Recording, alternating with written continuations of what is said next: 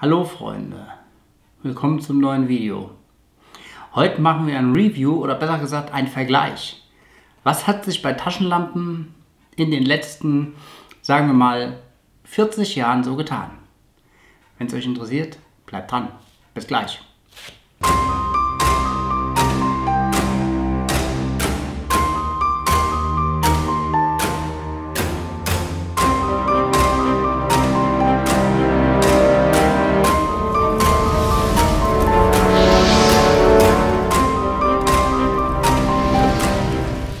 So, hallo Freunde.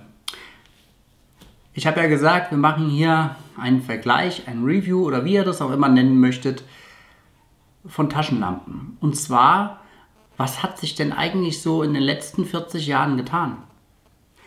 Wir haben zum einen, die stehen hier drüben, verschiedene Maglights. Ich bin ja schon immer so ein ziemlicher Taschenlampenfreak. Und die Maglite, die ersten, die kamen 1979 auf dem Markt und wurden eigentlich sehr lange unverändert gebaut. Ich glaube, die Lampen, die hier stehen, die habe ich irgendwann so mal Mitte der 90er Jahre gekauft und seitdem habe ich die.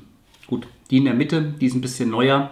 Die ist so von, naja, ich sag 2010, also hat auch schon ihre 10 Jahre auf dem Buckel, aber war selbst zu dem Zeitpunkt nicht mehr up to date.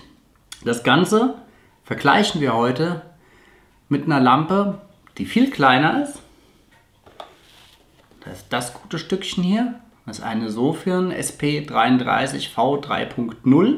Ich blende euch hier oben jetzt auch Werbung ein, weil diese Lampe wurde mir von der Firma Sofirn freundlicherweise zur Verfügung gestellt. Im Anschluss gibt es auch noch ein Gewinnspiel. Ich verrate auch noch gar nicht was, aber vielleicht kann sich der eine oder andere denken, was man hier gewinnen kann. Auf jeden Fall mit dieser Lampe. Die Lampe ist ein ganzes Stückchen kleiner als so eine MacLight, aber ich denke mal, das macht es deutlich was sich da so getan hat. Ja, und wenn wir mit diesen MacLights anfangen, dann sieht man ja hier verschiedene Größen. Ähm, das hier ist eine Zweizellen MacLight.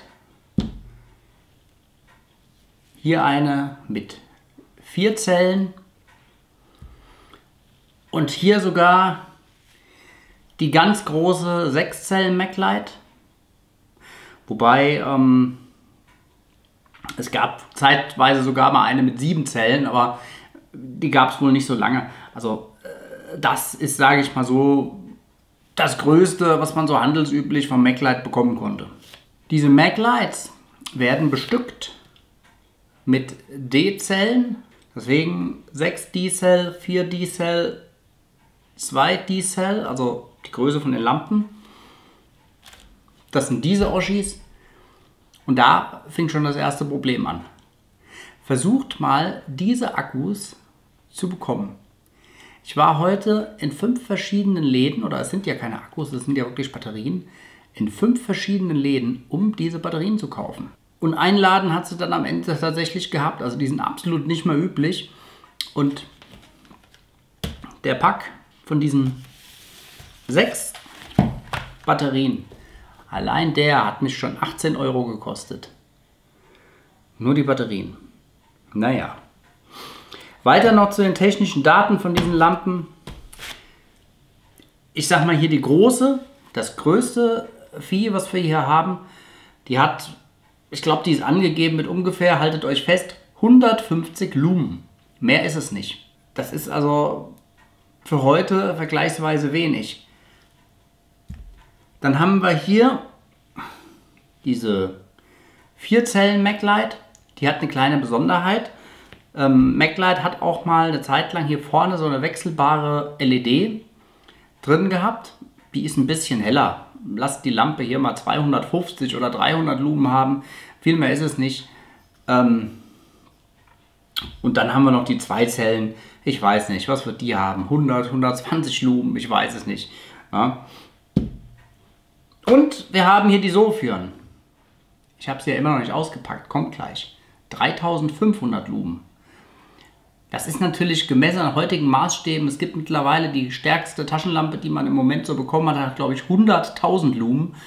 Aber ähm, gemessen daran sind diese 3500 Lumen, wenn man das einfach mal so hier nebeneinander hält, schon gigantisch. Und da sieht man mal, was sich so getan hat. Ich würde sagen, wir schauen uns die ganzen Sachen hier im Detail mal ein bisschen an.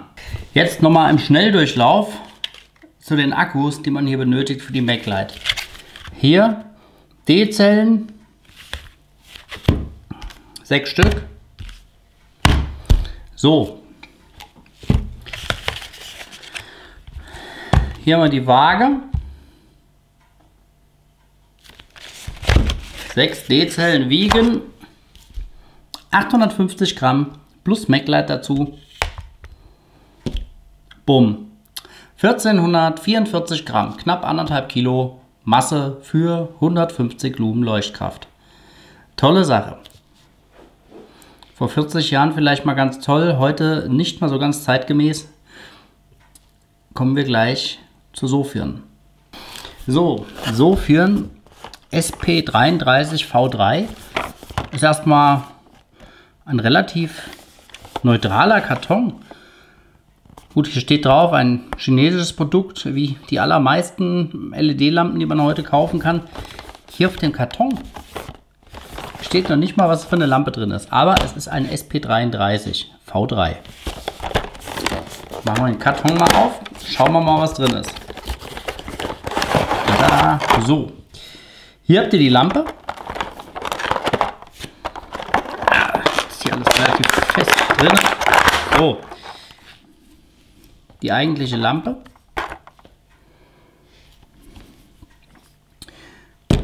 Dazu kommt dann noch hier ein USB-Ladekabel. Diese Lampe ist hier, also unter dieser Abdeckung mit einer USB-C-Buchse zu laden. Also das heißt mit Powerbank, Handy-Ladegerät etc. könnt ihr diese Lampe aufladen. Finde ich eigentlich ziemlich praktisch. Und die Lampe ist sogar wasserdicht. Man muss nur immer darauf achten, dass hier dieses Gummi richtig reingedrückt wird. Das ist manchmal so ein bisschen fummelig. So, jetzt ist es drin. Und jetzt sollte diese Lampe auch wasserdicht sein gegen Untertauchen. Das Ladekabel. Hier habt ihr noch ein Adapterröhrchen, für was das gut ist. Kommen wir gleich dazu. War noch was hier drin? Ja. So. Hier ist noch ein, ein Lanyard, ein, eine Schnur. Die kann man hier hinten dran machen, wenn man das möchte, um halt mit seiner Lampe, ja, um die sich ums Handgelenk zu binden oder wie auch immer, dass man sie nicht so leicht verliert. Und hier ist eine Anleitung in allen möglichen Sprachen, auch auf Deutsch. Und jo, eigentlich ziemlich verständlich geschrieben. So, in dieser Lampe drin ist, ich habe sie jetzt schon mal aufgeladen, ähm, im Auslieferungszustand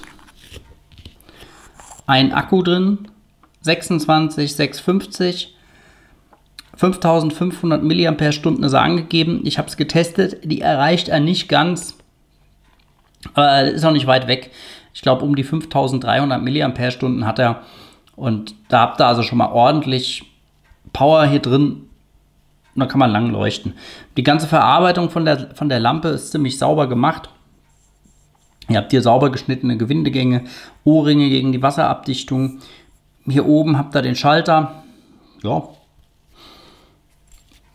Wertig gemachtes Ding. Ich hatte die jetzt schon ein paar Tage im Test. Wir werden die jetzt auch gleich draußen testen. Und dann schaut ihr euch das mal am besten selbst an im Vergleich zu so einer MacLight. Dieses Röhrchen kann man dann nehmen, wenn man, man sieht das hier drin, hier sind so, so Abstandshalterkerben, wenn man ähm, 18650er Akkus, das sind ja so mittlerweile sehr verbreitete Lithium-Ionen-Akkus verwenden möchte, da kann man mit diesem Adapterröhrchen selbstverständlich auch so einen 18650er Akku hier drin nehmen und dann geht das auch prima. Ne? Steckt er dann hier rein und dann 18650er rein und dann geht es weiter. Und jetzt nur noch mal zum Vergleich, was wir vorhin auch hatten mit der Waage.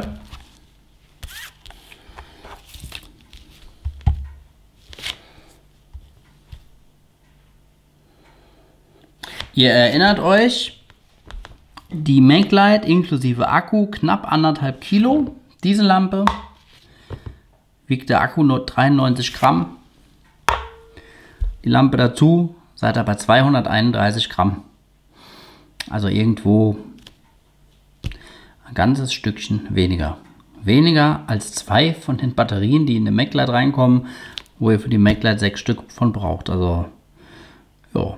Und wie sich das Ganze mit der Leuchtkraft verhält, das schauen wir uns nachher draußen im Dunkeln an. So Freunde, wie versprochen jetzt der Außentest. Ähm, wir haben uns hier ein bisschen was überlegt, um mal wirklich so ein paar praxisgerechte Werte rauszufinden. Zum einen haben wir hier hinten ein Messrad. Wir haben alle 50 Meter zur Orientierung haben wir uns hier ähm, markiert, dass man mal sieht, wie weit kommt man eigentlich mit der Leuchte. Und wir testen jetzt hier die zuerst mal die MacLight. Und zwar haben wir hier die dicke 6 Zellen MacLight mit einer Halogenbirne drin und danach dann noch die 4 Zellen MacLight mit einer LED drin. Dazu, wie vorhin gesehen, ganz frische Batterien. Und ich würde sagen, wir sehen uns gleich beim Test von der 6 Zellen MacLight. Okay,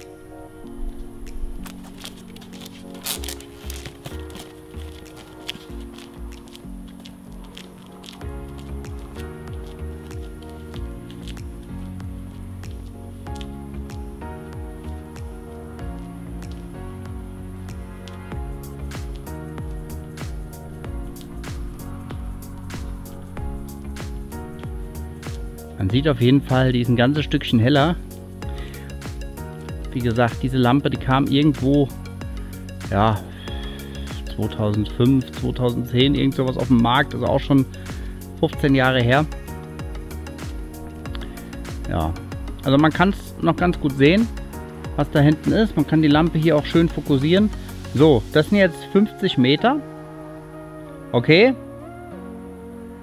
Ja, so, also die 50 Meter, die kann man wirklich noch gut sehen. Hier drüben ist die Tafel. Ja, ja das ist also im bloßen Auge wirklich noch gut sichtbar.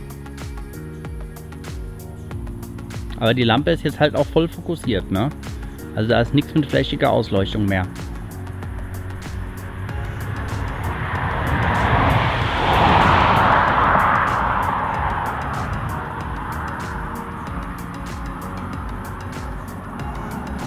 So, das da hinten sind jetzt 100 Meter. Also ich kann es auf jeden Fall von hier noch gut sehen. So, also, jetzt wieder unser Spiel hier, diesmal mit der Sofium. Haben sie diesmal direkt Full Power.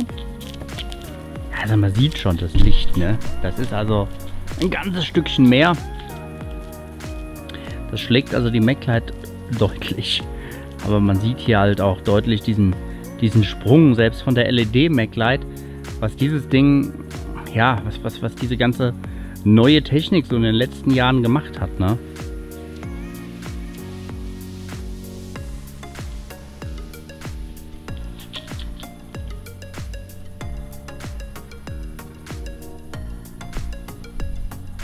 So, das sind 50 Meter jetzt. Also ganz locker zu sehen. Ganz, ganz locker zu sehen. Das ist ja wirklich hier voll ausgeleuchtet. Das ist ja Wahnsinn. Sieht auch ganz gut. Diese Tafel da hinten. Also das sind jetzt wirklich 100 Meter. Da ist auch noch richtig gut was zu erkennen.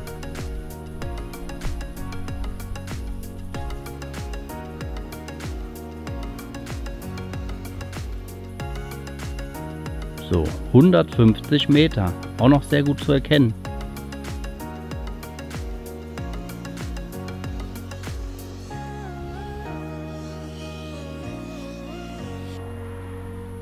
So, das sind jetzt 200 Meter. Ist auch noch zu erkennen. Ja, danach geht vielleicht noch ein bisschen was. Ich glaube, die Lampe hier ist mit 283 Meter angegeben. Da muss man schon genau hingucken, wenn man dann noch was sehen wollte. Aber ich sag mal, auf 200 Meter könnt ihr wirklich gut gucken mit dem Ding. Ja, wenn man hier jetzt mal schaut, also die, diese, ganze, diese ganze Ausleuchtung hier, ne, das ist also wirklich schon, da, da liegen Welten dazwischen. Ne? Da liegen wirklich Welten dazwischen. Was hier ist, ich kann jetzt auch noch mal gucken, diese Lampe hat hier, das ist relativ gut gemacht, so ein stufenloses Ramping. Achtung. Hoch. Ja, sie wird halt mit der Zeit, na, eben habe ich sie, hat sie wieder hochgeschaltet, sie wird halt heiß. Also sie hält das nicht die ganze Zeit. So, ihr könnt da gucken, hier, ne, da kann ich stufenlos runterfahren und auch wieder hochfahren. Und wieder hoch. Ja, die wird schon gut warm die, mit der Zeit, die Lampe, aber man sieht wirklich und es ist ein ganz kleines Ding. Ja. Coole Sache. Und ihr könnt das Ding immer wieder aufladen per USB-C. Bei so einer MacLight muss ich mir teure Batterien kaufen. Einsatzbatterien 18 Euro. Peng. Das war unser Praxistest draußen. Ich glaube, man hat den Unterschied gesehen. Dieses kleine Lämpchen schlägt die beiden hier um Längen. Wobei diese Lampe hier kam zuerst 1979 tatsächlich auf die Welt. Diese Lampe hier, ich glaube 2005. Und die hier ist eine ganz aktuelle Entwicklung aus 2020. Nicht State of the Art, es gibt wirklich hellere Lampen in diesem Format, aber das ist halt vielleicht mal ein guter Durchschnitt. Und ja, von so einer großen Mac-Light hier, ich würde mal sagen, so hm, leuchtet, ist aber hauptsächlich als Schlagzeugstock zu gebrauchen. Ich weiß es nicht. Die hier leuchtet schon etwas besser, aber naja, ne? Aber hier habt ihr wirklich fast in die Hand, fast in die Faust und habt da richtig Licht unterwegs dabei. So, ihr habt jetzt ja mal im Außentest gesehen, was 40 Jahre Entwicklung ausmachen. Natürlich ist diese Sofirn nicht das Ende der Fahnenstange. Es gibt weitaus hellere Lampen, auch in dieser Größe, aber ich finde, es ist mal ein guter Vergleich. Zumal der Preis, wenn ihr diese Lampe kauft, der ist wirklich gut, wenn ihr das alles mal testen wollt. Ich habe euch am Anfang ja gesagt, es gibt was zu gewinnen. Denn hier gibt es noch so eine Lampe zu gewinnen. Die ist original verpackt, wert in etwa 60 Euro. Die könnt ihr hier gewinnen was ihr dafür tun müsst. Abonniert diesen Kanal, schreibt einen Kommentar drunter, wie ihr diese Lampe einsetzen würdet, wenn ihr sie denn haben wollt. Auslosung findet eine Woche statt, nachdem dieses Video hier gepostet wurde. Der Rechtsweg ist selbstverständlich ausgeschlossen und es besteht auch kein Anspruch auf weitere Auszahlung der Gewinne, wie auch immer.